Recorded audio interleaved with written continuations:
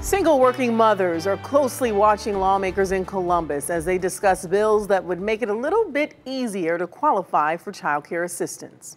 If the vouchers were gone, I would be, I, I would probably have to even get a second job. Right now, Ohio moms with two children only qualify if they make $13.50 an hour or less. Our Five on Your Side investigator Joe Paganak has found some are afraid to take slightly higher paying jobs for fear they would lose the help and find themselves struggling even more than they are right now. He goes in depth tonight on those proposed changes.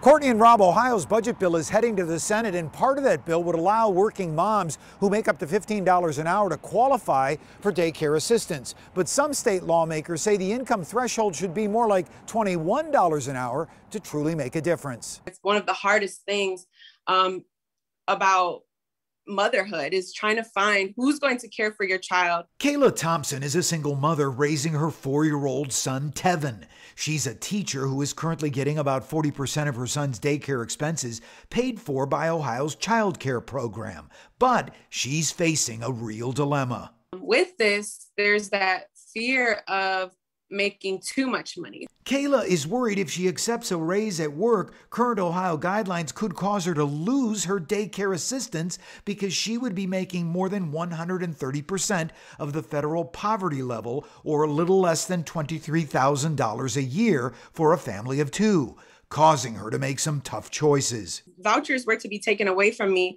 I may have to push him into kindergarten, and I don't think he's ready. State Representative Mary Lightbody says it's a problem faced by hundreds of Ohio's working single mothers. That's why she's co sponsor of House Bill 145, allowing working moms who have an income of two times the federal poverty level to qualify for daycare assistance. Lightbody says too many Ohio mothers are paying thousands for daycare annually so they can stay employed and then are forced to make cuts elsewhere. And if they don't have enough food on the table, the parents don't eat so the kids can. Child care advocacy group Groundwork Ohio says House Bill 145 is needed because it says the Ohio budget bill effort would have too small an impact in helping low income working families. It only serves between 2,000 and 2,500 additional kids and that's at a time when we're serving 20,000 less children in our publicly funded child care programs.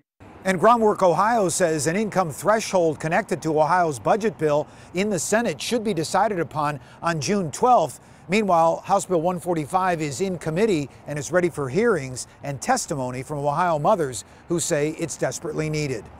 I'm 5 on your side investigator Joe Pagonakis.